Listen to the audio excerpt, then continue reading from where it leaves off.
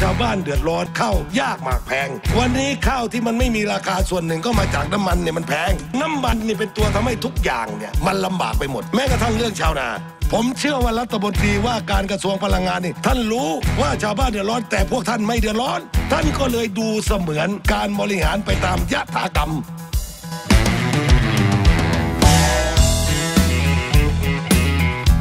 ท่านประธานนะเวลาเท่าแก่ซื้อข้าวก็อ้างว่าค่าขนส่งมันแพงต้องลดราคาข้าว ปุ๋ยที่มันขึ้นราคากระสอบละสองสามร้อยนี่อ้างว่าน้ำมันมันแพง ปุ๋ยทำมาจากเคมีพันของน้ำมัน ค่าขนส่งจากกรุงเทพไปก็แพงรถเกี่ยวไม่ต้องถามถึงวันนี้ แพงออโต้อะไรก็แพงไปหมด การใช้ชีวิตประจำวันวันนี้มันเดือดร้อน เด็กไปโรงเรียนก็ไม่มีสตังค์หนี้สินก็เพิ่มขึ้น ก็เพราะรายได้ไม่มีติดโควิดไปอยู่บ้าน SME ปิดเจ๊งหมดท่านลดภาษีสัมปทามิตรท่านลดภาษีต่างๆ ที่เกี่ยวข้าวกับกองทุนน้ำมันเนี่ยสักปีหนึ่งพอจะได้ไหมครับ เพื่อเป็นการช่วยเหลือพี่น้องประชาชนคนไทย วันนี้กลุ่มผู้เรียกร้องกลุ่มผู้ขับรถขนส่งบรรทุกก็บอกว่าให้ลดก็ลดให้เขาแล้วบอกความจริง กู้มาก็ไม่ต้องอายแล้วครับ เพราะว่ากู้กู้กู้วันนี้เดี๋ยวก็กู้อีก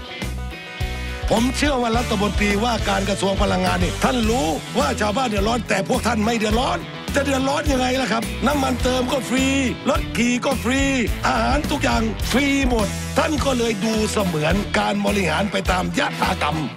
ผมได้มากล่าวเรียนต่อสภาศักดิ์สิทธิ์แล้วว่าพี่น้องวันนี้เดือดร้อนกันทุกแหล่งยุคข้าวยากหมากแพงฝากไปบอกลุงตู่ด้วยนะ ว่าน้ำมันแพง